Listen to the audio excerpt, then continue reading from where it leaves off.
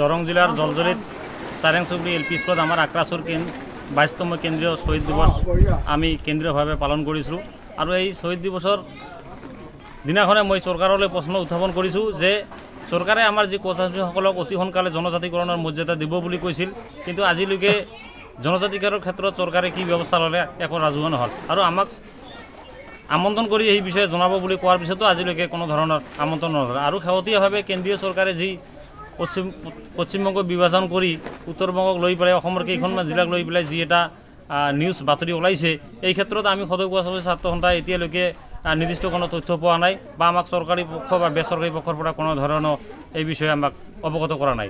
কিন্তু আমি খালি মিডিয়াতেহে চাইছোঁ টিভি বাতৰি কাকতো সেইবিলাক কথা চাই আছোঁ। গতিকে আমি চৰকাৰৰ ওচৰত দাবী জনাইছোঁ যে আচলতে সেইটো কিমান দূৰ সত্যতা আছে সেই বিষয়ে ৰাজহুৱা কৰিব লাগে। আৰু আমি বিচাৰিছোঁ যিহেতু সদৌ ছাত্ৰ সন্থাৰে দাবী আছিল যে সদৌ ছাত্ৰ সন্থাই পৃথক কমতাবোৰ ৰাজ্য গঠন আৰু জনজাতিকৰণৰ দাবীত সুদীৰ্ঘ কাল ধৰি আলোচনা আন্দোলন কৰি আহিছে। গতিকে আমি চৰকাৰক আজিৰ দিনাখনে দাবী জনাইছোঁ যে আমাক জনজাতিকৰণৰ মৰ্যাদা অতি সোনকালে লাগে।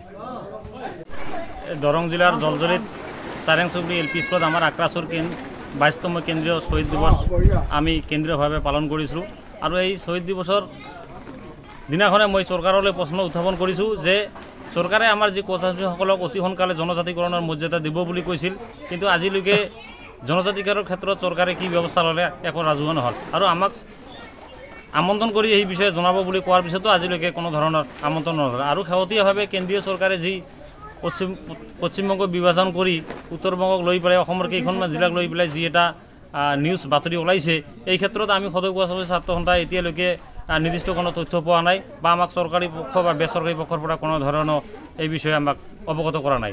কিন্তু আমি খালি মিডিয়াতেহে চাইছোঁ টিভি বাতৰি কাকতো সেইবিলাক কথা চাই আছোঁ। গতিকে আমি চৰকাৰৰ ওচৰত দাবী জনাইছোঁ যে আচলতে সেইটো কিমান দূৰ সত্যতা আছে সেই বিষয়ে ৰাজহুৱা কৰিব লাগে। আৰু আমি বিচাৰিছোঁ যিহেতু সদৌ ছাত্ৰ সন্থাৰে দাবী আছিল যে সদৌ ছাত্ৰ সন্থাই পৃথক কমতাবোৰ ৰাজ্য গঠন আৰু জনজাতিকৰণৰ দাবীত সুদীৰ্ঘ কাল ধৰি আলোচনা আন্দোলন কৰি আহিছে।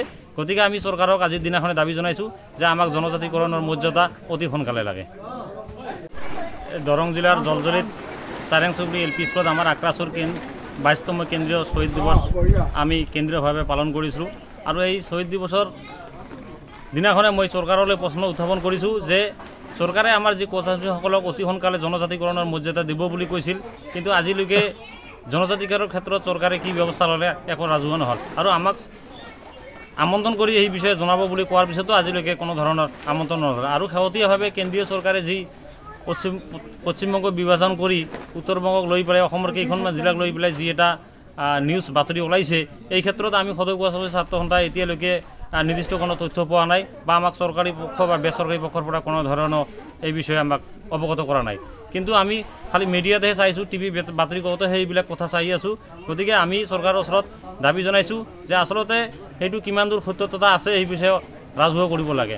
আৰু আমি বিচাৰিছোঁ যিহেতু সদৌ ছাত্ৰ সন্থাৰে দাবী আছিল যে সদৌ ছাত্ৰ সন্থাই পৃথক কমতাবোৰ ৰাজ্য গঠন আৰু জনজাতিকৰণৰ দাবীত সুদীৰ্ঘ কাল ধৰি আলোচনা আন্দোলন কৰি আহিছে। গতিকে আমি চৰকাৰক আজিৰ দিনাখনে দাবী জনাইছোঁ যে আমাক জনজাতিকৰণৰ মৰ্যাদা অতি সোনকালে লাগে।